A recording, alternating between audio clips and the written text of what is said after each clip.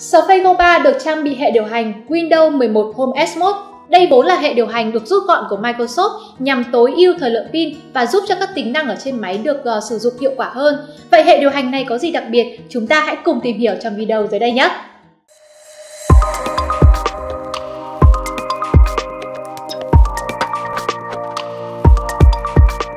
Khác với các mẫu máy tính khác, Surface Go 3 là chiếc laptop kiêm máy tính bảng đa năng mà Microsoft nhắm tới khách hàng mục tiêu là các bạn học sinh, sinh viên với nhu cầu của các bạn cần một thiết bị để học tập là chính hoặc có thể xem phim, ca nhạc giải trí sau giờ học, thậm chí là có thể chơi game nhẹ nhàng một chút trên chính thiết bị máy tính của mình. Do đó mà Microsoft đã tối ưu một hệ điều hành riêng là Windows 11 Home S dành riêng cho phân khúc máy tính cho môi trường giáo dục. Chữ S chính là viết tắt của Student, là hệ điều hành với giao diện của Windows 11 nhưng được tối ưu nhất cho các bạn học sinh, sinh viên bởi Windows 11 Home S được cài sẵn bộ công cụ Microsoft 365 gồm Word, Excel, PowerPoint đi kèm là 5GB lưu trữ trên OneDrive. Duyệt website bằng trình duyệt Microsoft Edge. Đa số quãng thời gian đi học trên giảng đường, các cấp bậc học hiện nay ở Việt Nam hay trên toàn thế giới Chủ yếu là chúng mình sẽ thường xuyên phải gõ văn bản với Word, rồi học các hàm với các lệnh trên Excel. Hiện nay thì các trường cấp 1, cấp 2, cấp 3 quốc tế hay các trường đại học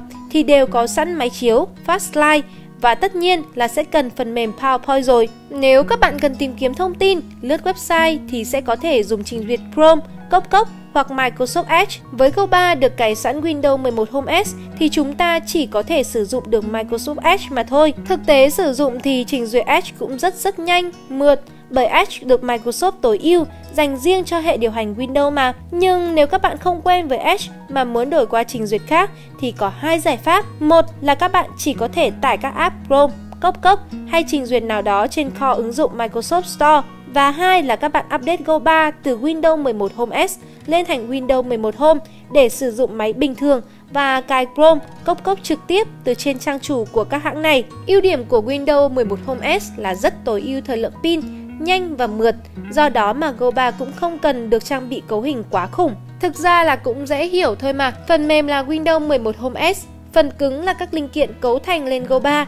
Tất cả đều do Microsoft làm ra từ A đến Z nên máy sẽ mượt mà, ổn định, sử dụng được lâu dài hơn. Nhược điểm là Windows 11 Home S sẽ không thể cài thêm được app ứng dụng ở bên thứ ba.